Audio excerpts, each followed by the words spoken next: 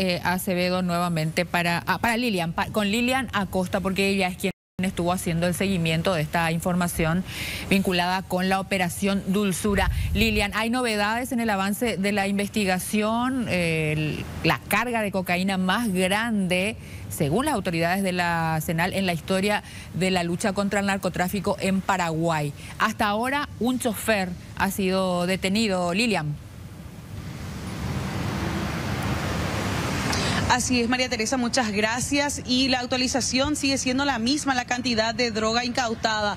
Hasta ahora, pese a que se sigue realizando la verificación, 4.013 kilogramos de cocaína. Y por otro lado, la información nos llevó esta mañana hasta el Departamento de Automotores de la Policía Nacional, porque es bien sabido de que al aeropuerto Cacupemí ingresó un camión con estos contenedores en el cual transportaba esta, esta cantidad, 78 mil kilos de azúcar y en él las drogas.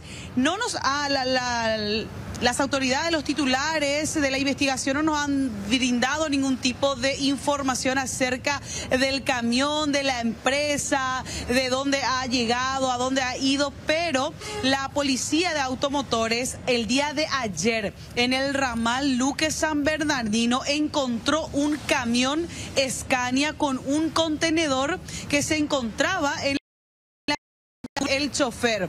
Este chofer llega, estaba en el lugar, la policía llega, pero ¿por qué llega la policía automotores para verificar? Porque no tenía chapa en el lugar correspondiente tenía una chapa en el interior del camión, pero esta chapa llamativamente no le pertenece al camión, pertenece a un vehículo, a un automóvil de la marca Toyota. Es ahí en donde queda incautado este camión y también detenido el chofer y él mismo es el que confiesa a la policía que dentro de sus viajes que ha realizado en estos días, que son cuatro, él ha llegado y ha salido desde el puerto Cacupemí. Esto llama la atención de la policía y es por eso que Automotores directamente deriva hasta el Ministerio Público y en este caso con el fiscal que lleva a cargo la investigación sobre la incautación de la gran cantidad de cocaína. Entonces es ahí ahora que él se encuentra detenido en la Senat con la incautación también de este contenedor que hasta el momento no sabemos qué es lo que contiene porque la Policía de Automotores no lo ha mencionado. Entonces ahora hay que establecer si es que este chofer tiene realmente vínculos con la mega carga. Es lo que nos mencionaron desde el día de hoy. Se tendrá que verificar las cámaras de circuito cerrado, toda la información que tenga DENIT o SENAT con respecto al camión que había ingresado, si es que realmente este que se incautó pertenece a ese.